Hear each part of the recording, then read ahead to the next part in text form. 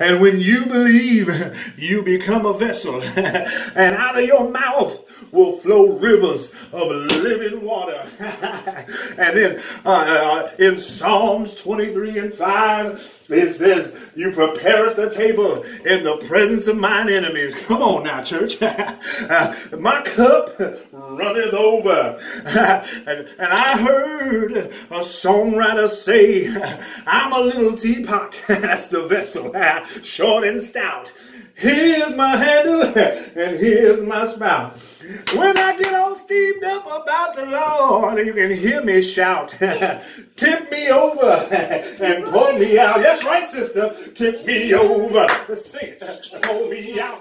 Tip me over. Tip me over. Yes, sir. Pull me out. Tip me over. Tip me over.